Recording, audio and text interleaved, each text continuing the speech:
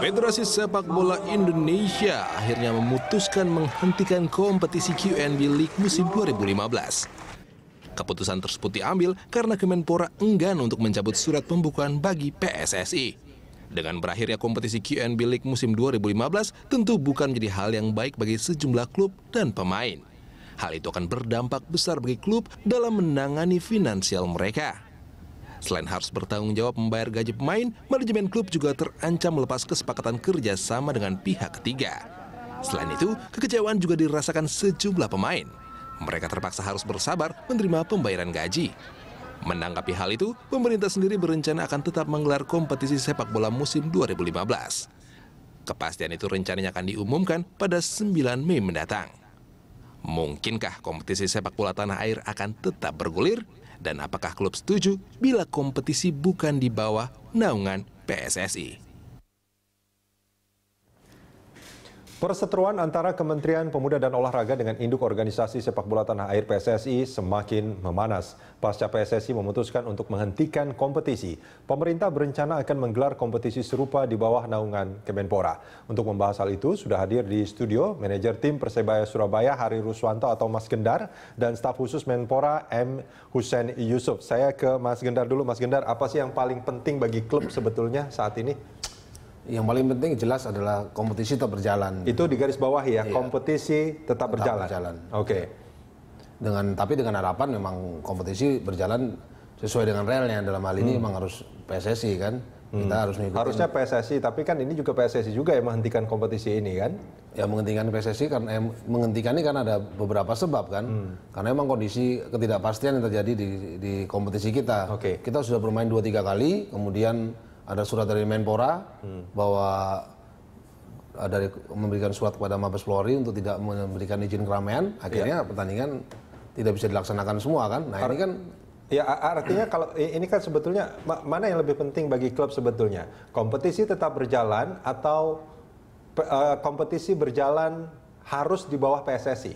Iya itu itu yang mutlak. yang lebih yang mutlak artinya yeah. kalau misalkan Kemenpora ini kan sampai sekarang kan Kemenpora uh, Kemenpora itu kan bersikukuh bahwa bahwa PSSI tetap dibukukan artinya uh, walaupun kompetisi akan dijalankan oleh Kemenpora ini tidak akan di uh, apa namanya akan dihargai oleh oleh klub. Ya, 18 klub di ESL atau KNB League ini sudah sepakat bahwa kompetisi harus jalan tapi di dengan di bawah kendali dari organisasi uh, resmi. Iya, iya, artinya kalau misalkan uh, PSSI tetap dibukukan oleh pemerintah, klub tetap tidak akan mengikuti kompetisi yang akan tidak di... akan mengikuti kompetisi kalau memang jalankan oleh tim transisi. Oke, okay. ya. kita uh, sudah tersambung dengan Andro Levandi. Ini ada striker dari Persija Jakarta. Uh, Mas Andro.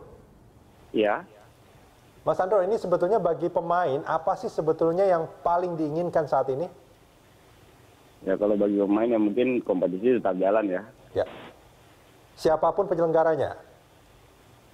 Iya ya siapa pun lah kalau pemain sih yang penting kan yang penting kan ada apa kalau misalnya itu kan tetap ada kompetisi tetap bisa main bola dan tetap bisa apa ya uh, ada inilah ada kan pasti otomatis kan gajiannya juga bisa ini kan cair kan misalnya ada kompetisi. Apa sih yang anda khawatirkan kalau kompetisi tidak berjalan, Mas Andro? Ya, kalau khawatirkan pasti jadi nganggur lah satu apa, jadi kan nggak ada nggak ada pertandingan jadinya nganggur, tidak ada pertandingan, apakah di kontrak uh, Anda juga tidak akan dibayar kalau tidak ada pertandingan? Kalau menurut kontrak sih itu nggak dibayar kan first major kan? Tidak dibayar ya? Iya. Oke, okay. ya, itu dan itu akan sangat apa namanya uh, tidak enak situasi seperti itu ya. Artinya yeah. menurut menurut uh, pemain ini ini ini bisa saya simpulkan nggak bahwa ini sebetulnya bukan hanya perasaan Mas Andro saja, tapi juga banyak pemain di liga ini yang berharap yang penting kompetisi bergulir siapa pun yang menyelenggarakan. Iya. Baik. Ya, ini menarik sebetulnya. Pernyataan Mas Andro ini mungkin sedikit berbeda dengan dengan pernyataan Mas Gendar ya. Nah, dari dari Kemenpora sendiri bagaimana menyikapi hal ini? Jadi begini Mas, concern kita sebenarnya adalah sama bahwa bagaimana kompetisi berjalan, ya. tapi dengan baik, dengan lebih transparan, dengan lebih fair dan terbuka dan juga mengedepankan apa yang menjadi hak-hak pemain, hak-hak hmm. stakeholder stakeholder olahraga kita yeah. di sepak bola kita.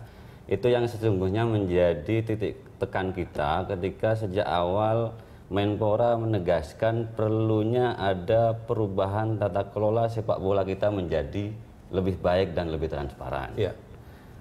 Kalau kemudian ada beberapa klub, saya tidak menyatakan semuanya, Mas. Ada beberapa klub yang eh, mengatakan bahwa kompetisi ESL itu harus berjalan dengan tetap berada di bawah eh, PSSI. Sesungguhnya eh, secara informal ada beberapa klub yang juga menyampaikan keluhan-keluhan terkait dengan eh, tata kelola kompetisi kita yang dianggap tidak Beberapa klub ini berapa banyak sebetulnya? Siapa kalau boleh tahu? saya tidak tidak perlu menyebutkan siapanya. Jangan-jangan itu datanya nggak valid. Hmm. Secara informal ada saya melakukan komunikasi secara informal dengan beberapa pemilik klub. Ada banyak keluhan-keluhan terkait dengan itu. Dan Ar- mereka sesungguhnya Mas, Mas begini. Hussein, artinya gini, kalau ada keluhan, artinya apakah mereka setuju bahwa PSSI dibekukan sementara kompetisi tetap bergulir atau mereka walaupun mengeluh tetap PSSI yang menggulirkan kompetisi ini?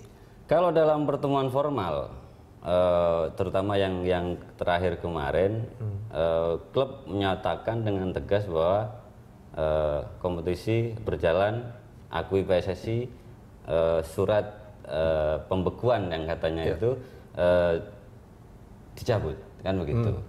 Tapi sebenarnya kalau kita kemudian melihat lebih lebih jauh seperti yang disampaikan oleh Mas Andrew tadi, sesungguhnya mereka yang paling mereka eh, perhatikan, yang paling mereka eh, perlu ada kejelasan adalah yang penting kompetisi segera berjalan se- sebagaimana biasanya. Itu itu adalah kesimpulan intrinsik, artinya yang yang tidak eh, apa namanya terlihat Sudah seperti ada pernyataan dari pemain. kan? sudah ada pernyataan dari pemain, tapi bukan dari klub. Dari klub sebenarnya sudah mulai ada pernyataan dalam beberapa hari kemarin. Hmm.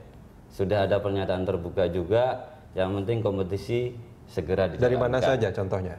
Misalkan kemarin saya bertemu dengan eh, kawan kita Aidil Fitri yang menyatakan yang penting kompetisi berjalan karena denyut nadi sepak bola kita adalah kompetisi Idul Fitri ini dari mana, Mas? dari eh, Borneo. Borneo. Iya. Oke. Yang penting kompetisi segera berjalan eh, eh, sebagaimana biasanya karena itu adalah denyut, denyut nadi kami. Nggak perlu siapa pun yang yang eh, apa namanya menyelenggarakan ya? Iya. Oke. Dan mulai ada Boleh nggak saya katakan bahwa sebetulnya sekarang sebetulnya sebagian klub menginginkan agar kompetisi tetap berjalan dengan siapa pun penyelenggaranya, sementara sebagian klub masih bersikuku bahwa harus PSSI. Ah, ya, eh, Art- tadi ya, sudah- artinya artinya Mas Gendar sebetulnya tidak solid lagi sebetulnya klub-klub sepak bola ini. Ya kalau itu kan baru pernyataan sepihak dari pihak Menpora aja. Tapi kalau kita ngelihat dari wawancara Aidil Fitri sendiri di beberapa stasiun TV kemarin jelas bahwa dia mempertanyakan juga kalau memang itu tim transisi jalankan apa yang bisa dilakukan, Mampu nggak mampu nggak gitu kan, biayanya bagaimana, kemudian anggaran dari mana, wasitnya perangkat pertandingan diakui apa enggak, itu kan semuanya belum jelas. Tidak mudah sebetulnya untuk Oh, apa nggak, namanya. nggak gampang gitu. Kita mem- istilahnya sekarang itu PT Liga membangun kompetisi ini dapat dikatakan sudah on the track semuanya. Sebetulnya bukan bukan PT Liganya yang bermasalahnya, tetap PT Liga yang akan menyelenggarakan, PSSI-nya saja yang dibekukan. Tapi PT Liga tetap berinduk pada organisasi yang menaungi dia PSSI karena memang PT Liga ini adalah organ apa memang order produk dari PSSI. Jadi memang harus PSSI yang menjalankan. Harus PSSI. Harus PSSI menjalankan karena ini kan berkaitan dengan AFC dan FIFA. Karena kita kan berkaitan dengan nanti eh, sekarang FIFA sudah memberikan kesempatan kepada kita satu bulan. Satu bulan kalau ternyata tidak selesai, mereka akan langsung bench. Nah kalau udah bench, mereka memberikan sanksi, apa yang terjadi? Kita tidak akan membicarakan soal statuta FIFA dan lain sebagainya. Kita bicara di internal sini dulu, uh, Mas Gendar. Apa dampaknya kalau ini misalkan klub uh, apa namanya kompetisi tidak bergulir, sponsor juga tidak akan masuk tentunya. Ya sekarang sponsor jelas satu lagu kan. Kita ada dua sponsor kakap yang memang juga dapat dikatakan mereka melihat kompetisi jalan apa enggak gitu. Iya. Nah ini harus diperhatikan oleh pemerintah gitu. Jadi pemerintah sebagai Ya bagi mitra sponsor juga kan sebetulnya menjadi penting kompetisi bergulir. kompetisi bergulir tapi melalui rel yang benar gitu. Rel benar itu ada di PSSI. Itu adalah keinginan klub. Iya betul sekali. Oke, uh, gimana Mas uh, Husen melihat ini? Iya, eh, yang penting kompetisi bergulir kan begitu mas. Dan Di bawah perlu di- PSSI kalau beberapa klub menyatakan perlu diketahui juga bahwa stakeholder utama di sepak bola kita adalah satu klub, kemudian yang kedua official eh, apa stakeholder pemain dan dan pelatih dan supporter tentu saja. Nah terkait dengan eh, penyelenggaraan kompetisi, Menpora sejak awal menegaskan bahwa eh, penyelenggara liga tetap PT Liga. Iya. Silahkan PT Liga menyelenggarakan kompetisi. Tapi PT Liga tentu kan- saja dengan supervisi dari Menpora dan nantinya akan Dengan tim transisi itu. Kenapa seperti itu? Menpora kan sudah mengeluarkan surat eh, yang kemudian oleh publik Hussein, disebut yang sebagai harus dipahami juga, yang saya pahami juga, Hmm. PT Liga itu tetap akan me- menginduk ke PSSI sampai sekarang. Artinya kalau misalkan PSSI dibekukan, PT Liga tidak akan mau menjalankan ini. Kan itu kan himbauan sebetulnya dari Kemenpora agar PT Liga tetap menjalankan Hmm. kompetisi. Nah ini gimana kalau semuanya bersikukuh, kompetisi tidak berjalan, bagi klub mungkin tidak ada pendapatan, termasuk juga bagi pemain.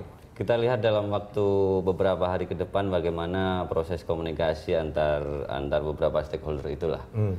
Tapi yang jelas eh, kemarin Pak Menpora juga sudah menyatakan bahwa punya keyakinan bahwa PT Liga akan akan eh, menyelenggarakan kompetisi. Dan pembekuan PSSI tidak akan dicabut. tidak akan dicabut. Kita akan sambung ini di segmen Iya. berikut Mas Hussein dan juga Mas Kendar.